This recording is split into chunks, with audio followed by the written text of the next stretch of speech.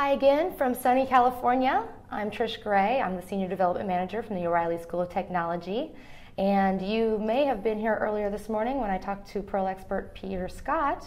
And now I'm really excited to chat with Python expert Steve Holden. Mm, good afternoon, everybody. Yeah. Hi, Steve. How are Hi. you doing? I'm very well, thanks. And you? Good. Good. Steve is the author of our Python Programming Certificate series, which has been wildly popular. And he is also the uh, author of Python Web Programming. He is the chairman of the Python Software Foundation. So if you've been to PyCons, you will see him there. Um, he has used Python a long, long time. He has a company called Holden Web LLC, which offers system design and implementation consultancy and training in information technologies to a worldwide audience. Um, he lives in Portland, and today he's going to talk about Python Release 2 versus Release 3. Now, our courses teach Python Release 3, but there may be times when you need Python 2. So, without further ado, I give you Steve Holden. Thanks very much.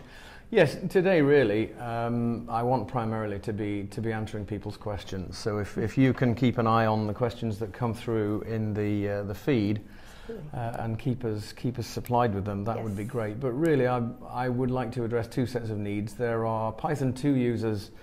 Uh, already existing who will be thinking about moving to Python 3 and people never seem to get tired of, of talking about that so we can talk about migration strategies, differences between the languages, and so on. Uh, but there are also, of course, the O'Reilly students who are taking Python 3 because we decided that that would be the optimum uh, language for them to learn in terms of long-term value for money. And they're probably going to be wondering, well, how do I, how do I adapt my Python 3 knowledge to Python 2? Without uh, you know without compromise or is, is it going to be difficult uh, and the good news is that actually it, it shouldn't be at all difficult so really as far as the Python Software Foundation is concerned Python 2.7 uh, is the status quo that's that's the language which we feature primarily on the website the one which we suggest that uh, if people are going to be using Python then that would be uh, the natural one to go for. Okay. Now, some time ago, Guido van Rossum, the inventor of Python, decided that we needed to make a, a break from the previous language and we needed the freedom uh, to actually uh, break backward compatibility, which in, in the past has always been very important to the, uh, to the language co- community. So 3.0 did actually uh, allow Guido to regularize several aspects of the language. So 3.x, in fact, we're currently at 3.2. Oh, 3.2, yeah, 3.2 was released a couple of a couple of days ago. So thanks to the developers for for that. Good job. But I think it's fair to say that, that there are some things um, that might make 3.3.2 unsuitable. So the first question people have is which which version should I be using? And at the moment, the most likely reason for not using Python 3 uh, would be the somewhat limited library support that's there. Now that's that's not a surprise. I mean, when we started the development of Python 3, uh, Guido I think said that Python 3 wouldn't really be ready for for about five years after Right. it's been released. Right. So there are some. I mean, there's a lot of work going on to port libraries, and there is. Uh, I think there's a site called GetPython3.net, uh, which is trying to keep track of which libraries have been ported to, to version three. Uh, and which ones haven't. But there are, another reason why you might have to consider using version 2, of course, is you may not have any control over the version of Python that you get to use. So if you're building web systems and your hosting company only offers Python 2.6, Well, sure. then you only can use Python 2.6. I mean, if if you're at a company, then there's there's usually a lot of fear about being a first adopter of a new version because of possible bugs that might come about and, and just the, the lack of stability necessarily. That's true, Yeah. yes. Um, although, of course, nobody's going to be using anything 0.0 now because Python 3 has gone through, we've, we started with 3.1 Right. and 3. Point, yeah, 3.0, and now we've had 3.1 and 3.2. So the distribution is maturing, and there's not really any question about the, the quality of the code in Python 3. Sure.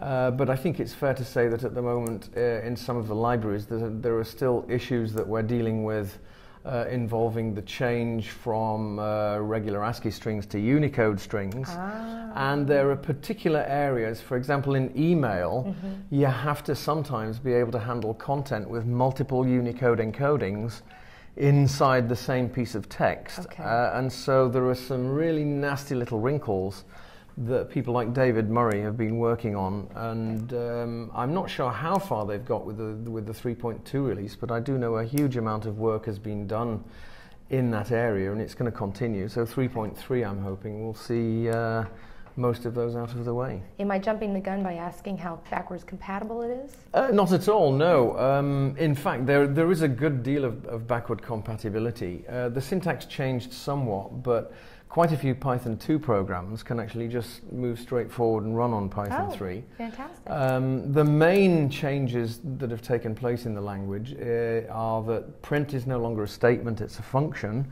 which gives people much more flexibility to organize their own printing if they want to. you can um, override. Yeah, you can override over you can override the print func- the, the built-in print function with your own uh, your own versions if you want, and, Sure. and those can be used by other people as well. So you can effectively change the way the printing subsystem works, which you couldn't really in, in Python 3 very in Python right, 2 right. uh, very easily. So apart from that, in Python 2, a lot of uh, object functions and methods which tend to return lists. Mhm. In Python 3, we'll either return uh, an iterator, that's something that produces values one at a time on demand, Okay. or what's called a view, which is basically just uh, effectively a method for accessing certain types of data in an object that, that don't require us to create a whole list. And the, the intention behind that uh, is to conserve memory, primarily, I think, and, and to make programs more efficient. Um, apart from that, well, there were a few other wrinkles. Integers became effectively unbounded, so now you can you can have integers as large as you like in Python. Uh, division. That wasn't the case before? Uh, well, before we had integer type, uh, we had an integer type and we had a long type, Uh-huh.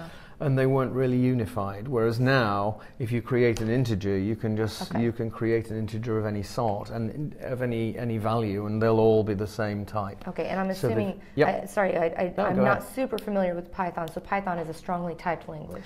Uh, Python is a strongly typed language, although there are no declarations in there, Okay. and there's no need to associate data of a particular type with a particular variable name, as there is in, in static So there's languages. automatic type conversion? is what you're Uh, no, not, auto, not automatic type conversion, but the type is, is the type goes with the data, not with the variables. Yeah, okay, Yeah. understood. Good. So yes, there've been um, there's the change from in strings, of course, uh, from ASCII strings to Unicode, and uh, so that's caused a, a new byte. I think we've got byte strings and byte arrays in the language now for people to be able to handle 8-bit bytes. Uh, more effectively when you're handling byte streams rather than uh, textual information. And then there are some syntax changes to do things like introduce uh, function annotations so that you can add information about the uh, potentially about the types of arguments to a function and the type of value it returns. Uh, you can now have uh, dict and set object comprehensions, so you can uh, create dicts and sets algorithmically in the same way that you, you always have been able to in Python 2 with lists. Okay. So how are we doing on the question side? I mean, this is basically what, what I'd like to talk about. So if people have got questions, Uh, someone says, uh, Adam Pat uh, gives us a question. Can you Mhm. please talk about how string handling is going to change for someone used to Python 2? Well, that depends on what types of strings you're handling, basically. Um, but I would say if you're handling ASCII, uh, shouldn't expect any problems at all. If you're handling Unicode, it should really become easier because basically now uh, you shouldn't get any of the, the problems that we used to get, for example, trying to print out Unicode strings to a non-Unicode terminal when you'd start to see errors because it would complain that uh, non-ASCII values were, were present in the string, that kind of thing. So string handling's effectively going to remain exactly the same, except that now strings allow you to use the full Unicode set instead of just the ASCII character set. Um, can you can you uh, speak a little bit to Unicode versus non-Unicode? What what are the advantages of using Unicode? Well, the principal advantage is that you can write programs which will deal with native character sets for users throughout the world. Okay. Um, I think in, in terms of historical inevitability, we're, we're all going to have to switch to Unicode sooner or later. But a lot of people in the information technology industry, I think, have been deferring coping with that pain. Procrastination. Procrastination, exactly. Programmers yes. are so good at that. Well, they are, aren't they? But uh, for example, Java got it right in, in their design. You know, Java was a, a language that used Unicode right from the get-go. Sure. And so they've been struggling with the uh, the issue. You know, Java programs have been struggling with the issues of Unicode for a, a good long time. Mm-hmm. Whereas in Python, I mean, there was a, a, a major uh, push forward. At I think it was at the 2.2 release, or maybe 2.0. But anyway, I remember that Marc-André Lemburg uh, spent a long time integrating Unicode in as a separate data type in Python 2. Okay. But now, of course, it's everything's unified, and if, if it's textual, it's in Unicode, and you can use pretty much whatever characters you want. Okay. Excellent. Excellent. Good. Um, so, you know, can you can you speak a little bit to the things that are taught in Python 3 in the courses that that might become an issue if someone is using Python 2? Well, the primary one is the print statement, I suppose, um, because you, you can't use a function uh, in the same way as you can in Python 2. Although, in fact, in Python 2.7 and possibly 2.6 as well, I don't remember, uh, you can import the print state, the print function from the future. Um, for non-Python programmers, we have this, this notional module called underscore underscore future underscore underscore. And if you can import things from that, and they actually change the way the compiler, the interpreter works. Okay. So, for example, we used to be able to say uh, from future import division, uh, and then we had the uh, future implementation of, of division present in the language. Okay. So, um, yeah, we can. What was the question again?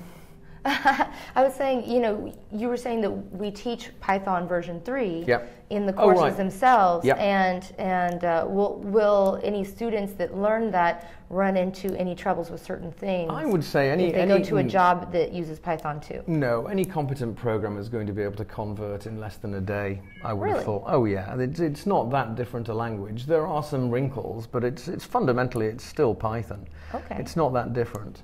Um, and of course, there's there's a two to three converter which will allow you to take your There's existing Python 2 code uh, and move it forward. It is not guaranteed to be 100% effective, but it will do the heavy lifting for, for a conversion. And nowadays, there's, there's even a 3 to 2 converter, which will allow you to take your Python 3 programs. And the people who are working on that are targeting being able to go back to different Python 2 versions from your, your Python 3 code. And so that just goes to show you how wonderful the Python community is that they just immediately hop on that. Well, I mean, the Python, the Python community, I have to say, I, I do think is wonderful. But the, the problem with saying it, of course, is that some people think it's not. And so when we say the Python community is wonderful, we just sound uh, arrogant and, and self, self-aggrandizing. So I, I try not to say too much uh, along those lines. Okay, we already have In a public. We have a question here from Yep. Doug Hellmann. How reliable is Oh, hi, two to three for converting older code? How reliable is 2 to 3 for converting older code? It's pretty good. I think you can assume from, a, at, at a first approximation, I would say that 2 to 3 is going to do between 95 and 99% of the, the job of converting your program to Python 3. So I think it, it does well. Uh, the migration strategy that's recommended mm-hmm. is to start your code in Python 2.6 or 2.7, the, mm-hmm. the most current version of, of Python 2, and then to run it through the 2 to 3 converter. If you get any errors that mean that you get a, an unsatisfactory Python 3 program, mm-hmm. Then you could the the recommendation is that you modify your Python 2 in such a way that not only does it remain valid Python 2, but also the 2 to 3 converter can can uh, produce valid Python 3. Okay. And the intention behind that is that you should be able to run Python 2 and Python 3 implementations of your program from a single source tree. Interesting. Because the Python world uh, has a lot of recent experience with coping with multiple source trees. okay. Uh, because the development of Python 3 meant that, that the, the developers had to maintain Python 2 and Python 3 in parallel. okay. So whenever you're developing a version of a, of a piece of software like Python, you have your, your trunk version, which is where development is currently going. Uh-huh. You have your, your latest tagged release, and you may need to branch Right. off that to produce um, maintenance releases. Right. So that means that effectively anyone who's been contributing actively to the Python code base for the past four or five years has had to be managing four separate uh, chunks of source Right. in order to be able to integrate changes everywhere they needed to go. Oh my gosh. So, So it so this way they don't hard- have to do that because they'll have one base code base Well- for both for both versions. That's right. Yeah, I mean Okay. the, the developers who develop Python, of course, they're actually writing in C, so Okay. they they had to maintain those four trees. But Interesting. the idea behind the two to three converter is that there's regular Python users who are programming applications in Python uh, should be able to get uh, a lot of good help modifying their code to Python 3 and, and should be able to maintain Great. a uniform source code tree for both versions of the, Oh, the that's program. wonderful. So if you have, say, a, a beta version which uses Python 3, a beta version of your application, Yep. and then you've got a live version that you have to keep maintaining, you can do that without having to reinvent the wheel backwards and forwards all the time. Well, yeah, I mean, if you've got a if you've got a live version and a and a test version, you're probably still maintaining those. You're probably still maintaining code in both both branches. Okay. Uh, but the ability to have uh, a product which can run on Python 2 or on Python 3 is ultimately, I think, what's going to move the language forward. Okay, I, I have some more questions here. Good. I have to scroll back up. I've got so many. Uh, Paul Barry, who, hi Paul, he's the uh, author of our uh, Head First Python book. He says, uh, don't forget uh, the big issue with how div works can lead to hard to find bugs. How but which keeps Sorry. DID? How div. DIV works. What are we talking about there? I'm Are you not talking sure I have the right Are we talking context. is this a web question? Yeah, is that is that what we're talking about? That we we have a question from uh, from Farrell Kramer. I'm learning Python three in your courses. Oh, Hey, good. Congratulations, Thanks a lot, Farrell. yeah. Yay. Um, and whoops. But want to eventually use Django for projects, which is only Python 2. Any advice? Uh, well, of course, Django and Python 3 are, are moving closer together. So it, I think in, you know, in the next couple of releases, I'm assuming, I don't have any inside, inside information, but I'm assuming that Django will be uh, migrating to Python 3 at some stage. Uh, but again, uh, the advice is simply don't worry about it. Your Python 3 studies will tell you quite enough about Python that Python 2 is not going to seem like a foreign country. It's just going to seem like a slightly different language. And so, um, while you know we may we may start to feel perhaps a bit schizophrenic writing some days in Python 3 and, and some days in Python 2, in actual fact, it's it's Yeah. relatively easy to transfer the, the Python 3 skills to Python 2. So Sure, you've got no need to worry about that. Yeah, I mean, Python is still Python. The syntax is, is generally That's right. the same. That's right. Yes, effectively. quirks here or there. I mean, the way Guido talked about it was, was about removing warts from the language, as he called it, rather than. So it's not a radical revision of the language. It's simply uh, an attempt to make the to apply the principle, the design principles behind Python, Mm-hmm. more uniformly and more consistently. Excellent. Brian Jones asks. Oh, hi, Brian. Oh, you know Brian too. I know you know Brian, everyone yeah. here. I know quite a few people yeah, family. in the Python world. Okay, he says uh, some methods in certain modules return bytes in 3.x, where they return strings in 2.x. The Yep. base 64 module comes to mind, but I wonder how widespread that is. Other modules? Well, um, I'm not sure about other modules, but just addressing the, the question, the specific question that was asked there about uh, base 64. For every module in Python 2 that produced a string output, the developers had to effectively ask themselves, well, is that string that they're producing, is that going to be used as text or, or does it really, is it really just a byte stream that has to be communicated in its exact binary form uh, to some recipient?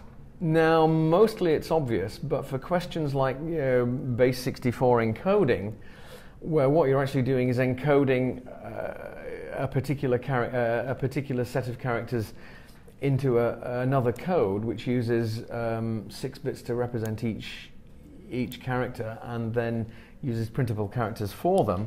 The problem there is that although alphabetic characters are used inside the encoding, uh, the encoding of a base 64 object isn't really a textual thing at all. Uh, the character set's very limited, and there's no need to use Unicode characters since you only have 64 different characters in the Aha. in the encoding. Uh, so, I mean, there are a few places like that where you, you might expect a string, and what you actually get back is, is a byte string.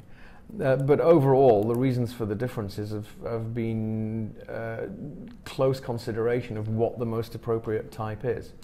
Now, obviously, if you're used to working totally in ASCII, mm-hmm. then this is going to cause a little bit of pain, and you're going to have to modify perhaps your code, some techniques that you use. Mm-hmm. Uh, but it's it's the best way. It's the best way, and I think that the, the reason they chose a byte representation for base 64 was because the base 64 encoding isn't really a textual representation of anything at all. It's not intended to be human readable text. It's simply a way to get information across a network stream. Uh, and so that's why, yeah, so that's why they, they wouldn't use Unicode, okay. I would imagine. Uh, Sean Milochik, I hope I said that right. Oh yeah, the, Sean Milochik. Okay, you know. Hi Sean. yeah, I know Sean. Uh, what are some other good uses for the with statement besides file handles in the core language, or is it mainly for third-party libraries to support? Yeah, okay. Well, for those of you who've not used the with statement, the with uh, this is not just a Python 3 feature, by the way. I think it came in in Python 2.5. But the with statement allows you to declare what are called context managers, which mean that the, the with statement, like the do and the for, takes an indented suite uh, that it controls so when you say with some expression as variable name, it takes the expression, and the expression actually has to have two methods. Um, and I think they're called dunder enter and dunder exit. I can't actually remember the names of okay. the methods, but uh, the first method is called uh, to create an object, which is then assigned to the variable and then uh, after the indented suite has mm-hmm. been executed, mm-hmm. the dunder exit method is called either to handle an exception that might have been raised or to make sure that any necessary cleanup is done. So basically, the with statement is a nice way uh, of wrapping up a block of code in such a way that you can guarantee that finalization is going to take place. About the most interesting application I've seen of the with statement in the past uh, year was something that Raymond Hettinger showed at EuroPython last year when he was actually demonstrating uh, new, different ways to, to write asynchronous code in Python. And he actually uh, used the context handler to establish the code, which, which was the asynchronous task. So that's, that's probably the most interesting thing I can remember, the, the with statement being used for. But it's still a fairly new feature, and I think people are still getting used to the idea that, uh, that the with statement can save them pain. Okay. Uh, we have a question from Brian Jones. Thanks for all the questions, guys. This is great. Most rumblings I hear from the community about porting don't line up with my experience. One complaint I can't confirm or deny is about brokenness in the email module. Do you know of any specific issues with that module? Okay, well, first of all, for, for readers who don't know, uh, or listeners who don't know Brian Jones, I suppose the viewers, aren't they? This is a webcast. Hello there. uh, for, anyway, for any of you who. Viewers and participants. yeah, okay. For any of you who don't know, Brian Jones is actually uh, in collaboration with. Oh dear, somebody whose name I've forgotten, but Brian will doubtless remind us. But anyway, Brian is one of two co authors who are working on a Python 3 version mm-hmm. of uh, O'Reilly's Python cookbook. Okay, great. So he's actually a, an O'Reilly author as well. Oh, that's right, it's David Beazley, Brian tells us now. Sorry about that, David. Uh, but anyway, yeah, Brian's um, working on that. And so anybody who ever had a recipe in the, the Python cookbook should definitely uh, go and update it and make sure that it's ported to Python 3 yes. because I don't think that, that David and Brian are planning to put any Python 2 recipes in the, the next version of the cookbook. Okay. So that'll be encouraging to people. But yeah, he was asking about the email module. The email module is the module where the Unicode issue has raised its head most seriously. And um, I do know that there's some serious work being done by David Murray on underpinning that. Mm-hmm. And um, the Python Software Foundation has, has even funded David's efforts partially.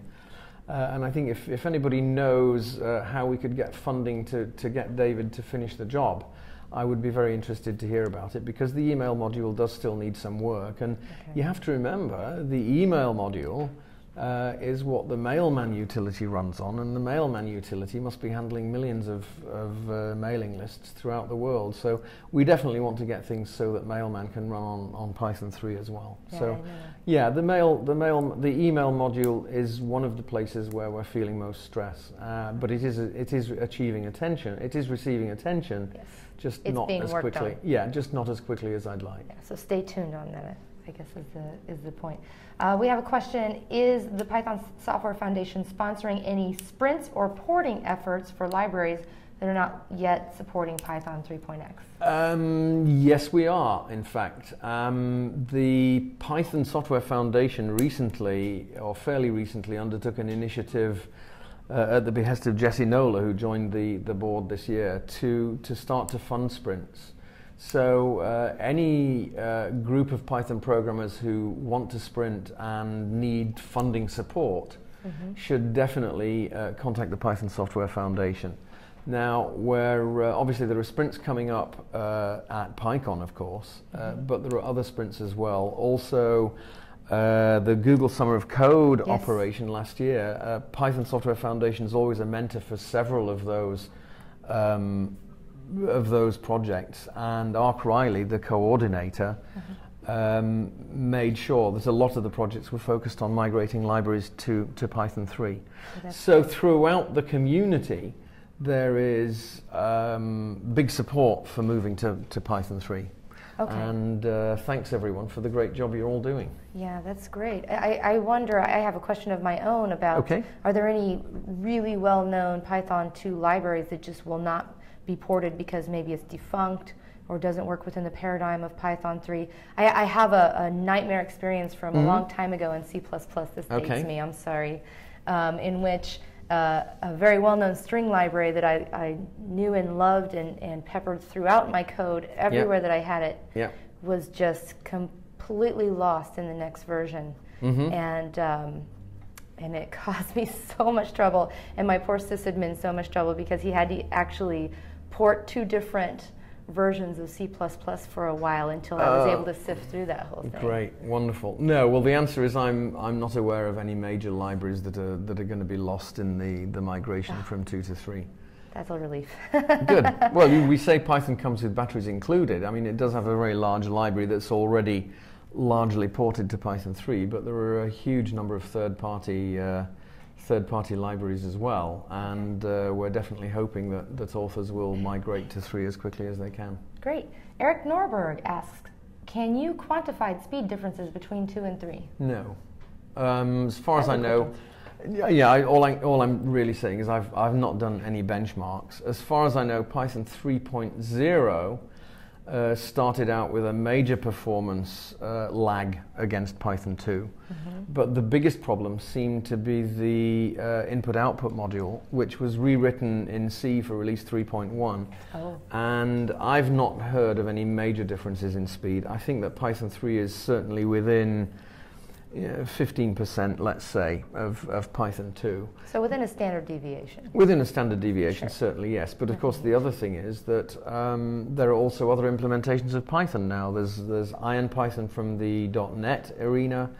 Uh, there's uh, the PyPy, PYPY project, where they've, they've actually used Python as a tool for developing a Python compilation system. Okay. Um, so there are a number of different implementations. So at the moment, um, you may feel constrained by speed, but I think it's you know the, there have been speed up efforts going on for Python 3 with the Unladen Swallow project, which uh, may be a little stalled at the moment.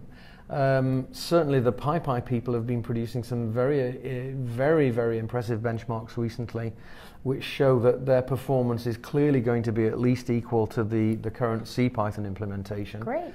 And so there's all kinds of interesting developments taking place, uh, which means that overall, I'm not really too worried about, about Python execution performance. I think So it seems like people will, good. will adopt it pretty quickly and, and uh, port everything over pretty quickly. I'm Just 'cause there's certainly no hoping so. Yes, I hope so. Uh, Martin Hines asks, can you give quality can you give quality resources on the differences from Python 2 to 3? So are there any books that can uh, that can speak to this?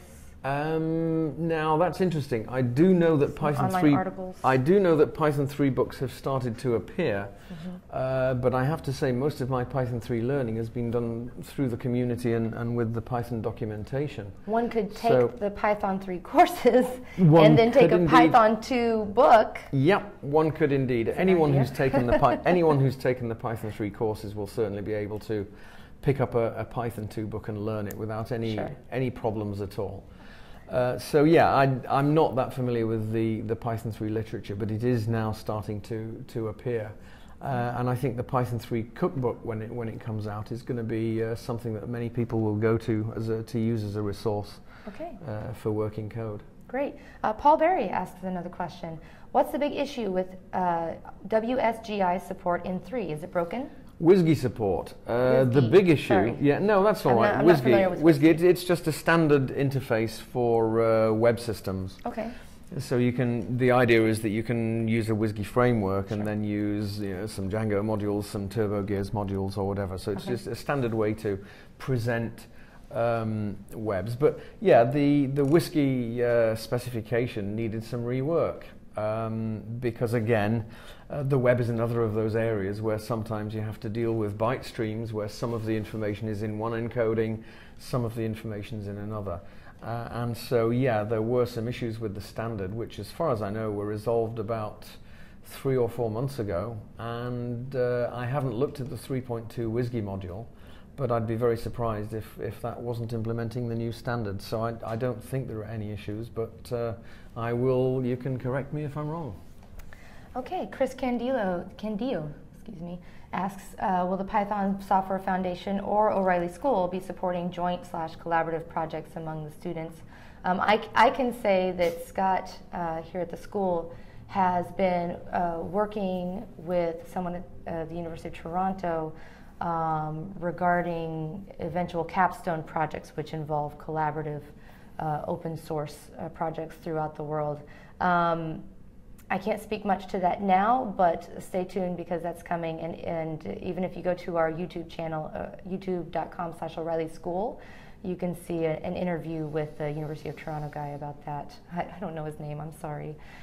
So, and uh, are there anything with the Python Software Foundation? Well, the Python Software Foundation already supports Google Summer of Code, uh, which means that uh, we are trying to in- involve students uh, fairly early on.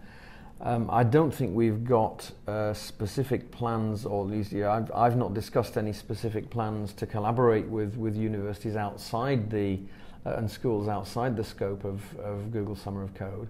But basically, I think you can take it that the, the foundation is going to be encouraging uh, whatever we can, whatever activities we can, to make sure that porting effort uh, is is applied. So I'm certainly not averse to, to collaboration with uh, with anyone at all. Great. And uh, I don't know if viewers know it, but the the O'Reilly School has actually been um, discussing its future this week, and I've got nothing specific to say about that myself, since I'm only a a course author, except that I've heard about some, some potentially very exciting developments, which I think are going to, uh, to be to, to all students' benefit. Andrew Lewis from the Mhm. University of Toronto. So maybe we should uh, hook him up with the Python Software Foundation. Good see if we can idea, yes. going there. Absolutely Very good idea. right. Okay. Um, Antonio Rodriguez Mhm. asks, will PyPI include works with capability for seamless portability with Py, uh, Python 2 slash 3? Works with capability for seamless portability with Python 2, Works 3. So, ah, right, okay, yeah, this question, now I, I can see it on the screen. Basically, yeah, the PyPI is the Python package index, PYPI, uh, or PyP, I think we may Oh, have to. PyP. I don't really know what the pronunciation I of, have to learn is. my Python. Well, it used to be called the it used to be called the cheese shop, so uh, that was even even more obscure. Although it was just a, a Monty Python, it was based on a Monty Python sketch. But anyway, um, no. As far as I know, uh, I can't remember now whether Pipe is treating Python two and three as entirely separate languages. I I I believe the intention is that you should be able to download both Python 2 and Python 3 versions of the same module uh, from Pipey. But where they're up to with that effort, I don't know. If one of the uh, one of the Python guys wants to, uh, sorry, one of the uh, Pipey guys wants to to let me have a uh, drop me a line, I'll pass the information on. But I, I don't know where they're up to with that effort right now. Rhonda Heath, great to see you again, Rhonda. Uh, she asks, uh, what is the word on deprecations in version 3 versus version 2? Are there many? Uh, not that many, no. I can't actually remember exactly what's, what's been deprecated. Uh, but it's, it's nothing really that you'll miss. I think um, map is still in, reduce may have gone, I seem to remember. May, that may be the, oh, I, I, I honestly don't know. But no, not, no major deprecations. Is there a uh, place on python.org where they can check for uh, any documentation? The place to go would be the if you just Google for uh, what's new in Python 3.0, then you'll you'll see the uh, the information about what's been dropped from the language. Okay. But it was it was relatively little. Okay, I have a question from Mike Leroy. Do you know anything about wxPython going to three?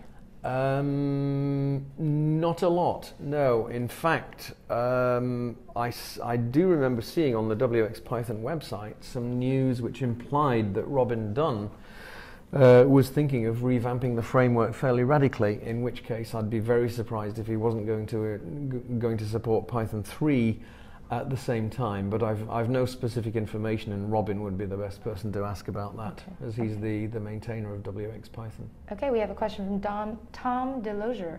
Uh, the LDAP module, I think I heard, was going to need a full rewrite. How do I how do I vote for help for it? How do I vote for help or how do you it? get votes for help for it? That's, that's an, an interesting general question, in fact. Mm-hmm. Um, the foundation would would be happy to be able to provide developers with information about you know where it was most important to spend development effort. Now we couldn't guarantee that the, the developers would then go to those areas and work because it's not a coercive relationship. I mean the developers are basically uh, scratching their own itches. Yes. So um, I wonder what percentage of Python users uh, involve an LDAP model versus a relational database model? Well, LDAP's usually used for things like authentication, mm-hmm. credential information, and so on and so forth. So, I mean, LDAP's widely used because, for example, I think that um, Microsoft's uh, Active Directory mm-hmm. is is LDAP yes. based. Yes. So, uh, effectively, it's it's a a throwback or a retention from the old X500 standards, mm-hmm. but it, it's a good it's a good tool. And if so people are, if people are using LDAP for, for distributed authentication, okay. then obviously it's it's an essential library. Um, I'm not sure where it is, and but the, the real question is, you know, how how do we get priority information about you know which tools uh, a porting effort will yield most benefit to the to the greatest number of users? And if anyone can think of a way to, to solve that problem generically for the foundation, I'd be forever grateful to them. That's why we have it. That's why yep. we have the foundation. Chris Candio again. Uh, does Python 3 make distributing applications easier? Uh, not specifically, no. You're probably aware, Chris, that um, the setuptools utilities have been re implemented now as something called distribute. Well, as far as I know, um, distribute and setuptools are both available for both Python 2 and Python 3. I think that's right. So maybe setuptools isn't available for Python 3, but the plan is anyway that um, what's eventually going to happen is that setuptools 2 uh, will come out and be used both uh, by Python 3 users and also it's, it's going to be backported as an external module for, for Python 2 users uh, as well. So um, I don't think there's anything specifically in Python 3 that makes distributing applications easier. No, but um, there is work going on on that area. Okay, here's one that's interesting to me from Ben Johnston. Will O'Reilly School of Technology be offering a Django course soon? I've uh-huh. heard rumblings of this. Well, uh, I have been asking myself what I should write when I've finished the Python, the, the, the Python certificate series, mm-hmm. and uh, Django. The, the, Python certificate itself is, is more of a core yeah, basically Python the, the Python skills. certificate, yeah, is is intended to teach you the fundamentals of programming in Python, but the fundamentals of programming as well. So someone who's not a programmer ought really to be able to take the the course if they if they want to. Okay. Uh, but yeah, Django obviously is a specific application of Python. For mm-hmm. those of you who've not heard about it, it's a uh, which apparently, by the way, included WordPress, who tried to call their latest release Django Uh, but anyway, for those of you who've not heard about it, Django is a, a very popular web framework that is written in Python. Uh, so yeah, I think Django would, would make a terrific course. I'm not sure we could do it full justice in a in a four class series. Yeah, it may end up being a whole a whole topic with, with lots of classes. You know, there's oh well, and then I mean, you, yeah, you, you, start to look at the other frameworks, yeah. pylons, pyramid, all all of sure, these things. Sure. Yeah, then then there's lots to do. But I I wouldn't be surprised if there was a Django course before too long. Okay, um, we have one from Brian Petch Peck. Uh, what is the status of database modules with respect to version 3?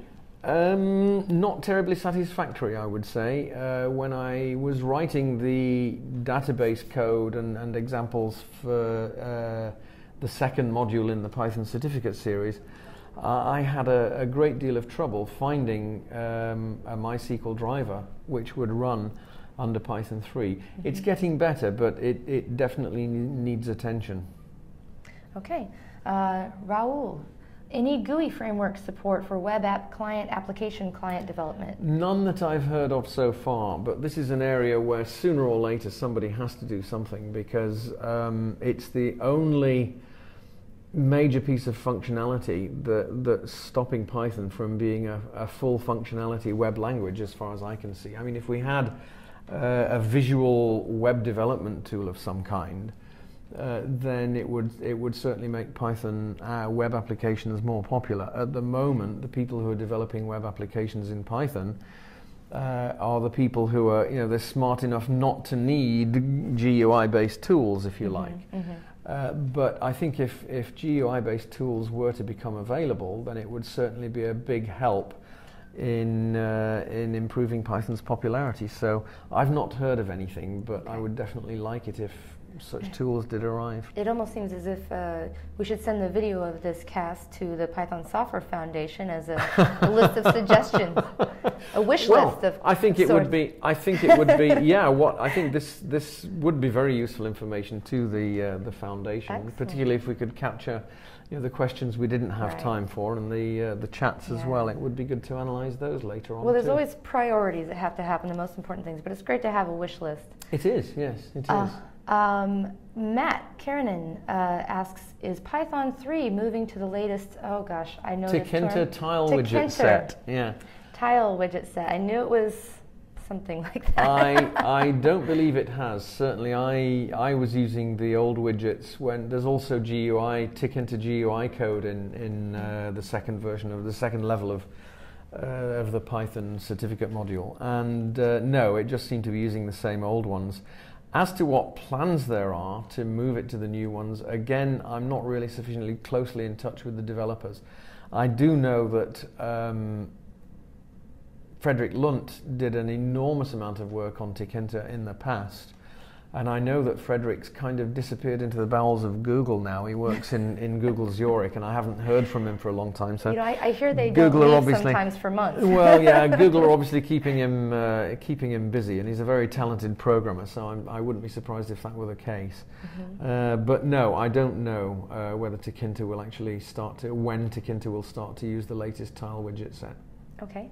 Um, we have uh, Brian Jones again is asking, will there be a specific course reporting legacy code to Python 3 um, at the O'Reilly School? Well, we don't have one planned at the moment. Uh, ultimately, whether the school decided to go ahead with such a course would be you know, a marketing decision, I suppose, rather than anything else. Yeah, I, I, I want to say that porting one version to another would be more of a job of uh, an O'Reilly book perhaps, uh, right. considering yeah. that the, yeah. our, our, our school tends to um, speak more to um, you know your the core skills the core skills that you need and and being able to um, use those core skills to be able to learn things like porting code and like um, you know specific things after that you could pick up a book after you finish the courses and, and understand how to learn the new things because it's going on top of the um, the foundation that you already have. Does that make sense? I hope it makes sense. It made sense to me, yeah. yes. I, I would say if, if O'Reilly happened to consider such a book, either Brian Jones or David Beazley would, right. they'd both make excellent authors for such a book, yes. particularly since they'll have a lot of experience porting code Excellent. for the for the cookbook. Mm-hmm. Or maybe, you know, there can be a chapter within uh, one of the courses which involves porting legacy code in general. You know, not necessarily from this particular to this particular. But That could be. I suppose one, thing. one question I'd be interested to hear, since there is still just the chance to squeak a little bit of content into Python 4, is, is whether anybody would like, you know, whether it would be a good idea to include a a lesson or two on differences between Python 2 and Python 3. Okay. Um, Adam Pat, it looks more like a general Python question. What is the difference between a view being returned versus an iterator? Um, okay, a view is effectively a function that virtualizes the content of a, of a data object or data structure of some kind. Um, and so, for example, the I think, uh, if I'm not wrong, I believe iter keys may return a view. But effectively, when you're when you're iterating over something like a dict, then you can't just use the standard um, iteration mechanism. And so uh, there has to be something there which, which, which produces, well, in, in Python 2, you'd just produce a list. Um, in Python 3, you've got a choice of either producing the iterator or the view. Uh, a view is used instead of an iterator when it's more convenient, basically, and there isn't a huge amount of difference between them. Effectively, a view just virtualizes the, uh, the content of the object so that it can be accessed in a, uh, an organized way. Okay. Um, Michael Ritchie asks, did you find a MySQL module for 3.0? And is there any support for MonGodB? Uh, I did, in fact, find a, a, a MySQL module for version 3.0. Yes, uh, I can't remember now which module it was, although a, a look at the lesson content would resolve that. But I did. Um, in terms of support for MongoDB, uh, I've just been working with, with Mongo on Python version 2. Did I say MonGodB? MongoDB? Well, MongoDB. MongoDB. MongoDB, yeah, right. Um, I've Wow. been working with it in Python 2, and I really don't think that there's anything that would stop the, the driver code from being ported uh, to Python 3. So um, I'm not aware of a port now, but I don't see anything standing in the way. Okay. Antonio Rodriguez asks, uh, is Python 4 already Uh-huh. visible on the horizon? Did you mention this? Well, this is this is actually um, a terminology problem that we continually have in O'Reilly, because the School of Technology refers to the uh, Oh. the, the classes in the Python certificate Yes. series as Python 1, 2, 3, and 4. Okay, so it's a this is a nomenclature problem. yeah, So so, the Python 4 Python release 4 is not on the horizon. Python release 4 is not on the cards. Python course 4 within the four course Python certificate series is on the horizon. I think Yeah. April, May, And something like yeah, that. Yeah, and that's that's what I was talking about. So- Whether whether we needed it or whether it would be useful to include a lesson in the fourth uh, module of the certificate series Right. about differences between Python 2 and Right. Python 3. yes, that is confusing, and so do no, I'm, I think that. if you said Python 4 to Guido, he'd probably run screaming from the room. I think he's he's uh, he's had to put up with a lot you know, through the migration to Python 3, and I think I think another major migration effort of that of that nature is probably. Uh, Do you think he's listening somewhere? going, not "No." something he views with relish. okay. All right. Are there any more questions? It seems that we are uh, we're about uh, 12 minutes out from 2 p.m. I Yep, know our time slot ends at two, doesn't Yeah. it? Right. So so we're we're right on time. Um, so if there aren't any more, I would like to tell you that this webcast will be posted very soon, uh, both on O'Reilly and on O'ReillySchool.com, on the websites there. So if there's anything you missed, then uh, then you can watch it, and feel free to ask Steve any more questions. Oh, we've we've got a, a question now that could take up an hour all on its own. In Oh, fact, gosh. yeah. Adam Pat uh, has asked, are there any plans to make the GIL go away or be better in Python 3? The have no GIL or what you mean by GIL is the Global Interpreter Lock. Yeah. Now this is something that the the CPython implementation includes. Basically, to make certain operations faster by making sure that only one piece of uh, Oh. only one piece of the program is operating There's at not a too much time. so it, going on. well, it maintains it maintains thread safety, Mm-hmm. but the the issue that that causes is that if you have a multi-threaded program, uh, you ideally you, you would want to get maximal efficiency by Mm-hmm. running separate threads in parallel on separate CPUs. Unfortunately, because of the presence of the global interpreter lock in Python, mm-hmm. that means that the uh, generally speaking, I mean, there are certain cases where it's not true, but in general, only one thread of your Python code can be running at a time okay. because the global interpreter lock means that, that uh, anything that was trying to run on another CPU would simply be stalled waiting for the lock to be released by the running code on the first ah, CPU. Okay. Now, um, putting it all into one mm. line. Well, yeah, it, it's a constraint which, which we'd certainly rather be rid of, but there are different opinions about how the constraint should be removed. So, first of all, let me point out that as far as I'm aware, there is no global interpreter lock in IronPython. So, if you, if you really want to go crazy with parallelism right now, IronPython's available. Um, the guys in the PyPy crew, PYPY, are also looking, I think they do have some kind of lock, but they're looking at, at, removing it because it doesn't seem to be anywhere near as, as tightly integrated as it is in, in Python, in CPython 3. But the, the CPython implementation, uh, basically, uh, Guido has said it's never going to lose the global interpreter lock. Guido's approach is that you should make use of multiple CPUs by writing multiple processes which communicate with each other using whatever operating system functionality you choose. And I think that that, that was probably one of the reasons why the multiprocessing module uh, was included in Python because uh, that actually does allow it allow us a very easy way to, to create new processes. So, uh, in short, Paul, no, sorry, the GIL is not going away. Uh, sorry, it wasn't Paul, was it? Yes, it was Paul. The GIL is not going away.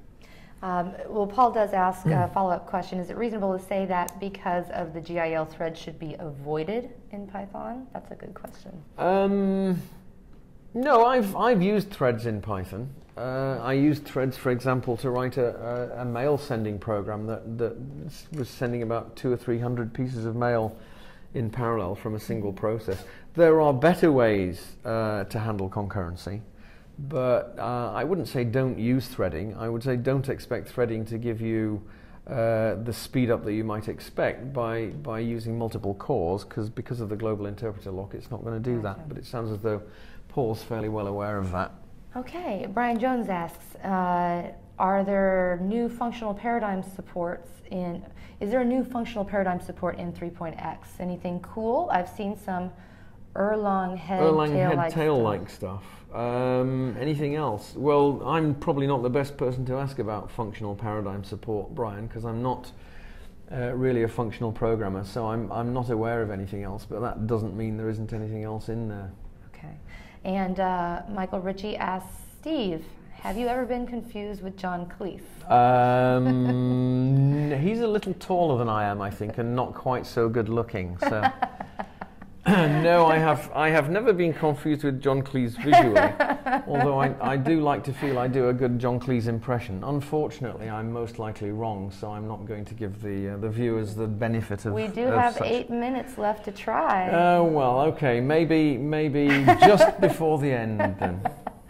Uh, and Martin Hines asks, are there any special offers for the Python course? That's OS? one for you, I think, Trish. Uh, yeah, um, you know what? Check back next week. There may just be something uh, check back at o'reillyschool.com. So I, I can't promise anything, but uh, okay. stay tuned. Um, and if you'd like to follow Steve on Twitter um, for any other questions, it's uh, Holden Web. H O L yeah. yes at Holden Web H O L D E N W E B and there's also an O'Reilly School uh, one word yep. Twitter handle. Um, definitely ask your questions on one of those uh, uh, Twitter accounts, or if you would like to come to Facebook, facebook.com slash O'Reilly School, um, to ask questions there in a longer format. Um, or if you would like to see this webcast again, it's going to be posted on O'ReillySchool.com and on O'Reilly.com, and eventually it will be also on the O'Reilly School channel on YouTube. Somebody okay? apparently thinks you look like Reese Witherspoon. I do get that a lot, yes. I think she's. I think she's much better looking than Reese Witherspoon. But there oh, you go. stop it. okay, can you repeat okay. Steve's didn't catch it? Yes, it's at Holdenweb. H O L D E N W E B. Okay. And that will get me on Twitter, on Facebook. Uh, basically, even uh, when I go to PyCon, I meet friends that I haven't seen for a couple of years, and they say, "Hi, Holden Webb." So it's it's become my name, my real. You know, it's almost people call more people call me Holden Webb than Steve. And be sure to catch Steve at OSCON and PyCon. Oh, indeed, yes. PyCon coming up um, very soon. It's it's actually uh, what is it? A week on a week next Friday, I think it starts. So it's about uh, two two weeks away. Yes, two weeks away today. Uh, we've got OSCON in summer where we're trying to make sure that there's uh, a stronger Python presence this year. We've got four people uh, who've been reviewing the, uh, four extra people who've been reviewing the Python submissions, and it looks like we've got some good stuff in there. Okay, great. Um, and, and Brian Jones asked if there are any other Python uh, books upcoming from O'Reilly. I wish I could speak to that. I, I am unaware. I'm, I apologize, but perhaps uh, Marcy and the other folks at O'Reilly would be able to help you with that. I'm sure there's plenty coming out. Um, so again, I want to thank you. Uh, I'm Trish Gray from the O'Reilly School of Technology, and thank you, Steve, so much. Thank you. And fantastic. It's so great uh, to to tap into your expertise. Mm-hmm. So uh, thanks for coming, and I'll see you next time. It's been good uh, spending time with you guys. Thanks for all the questions, and uh, I hope that we'll see each other at PyCon.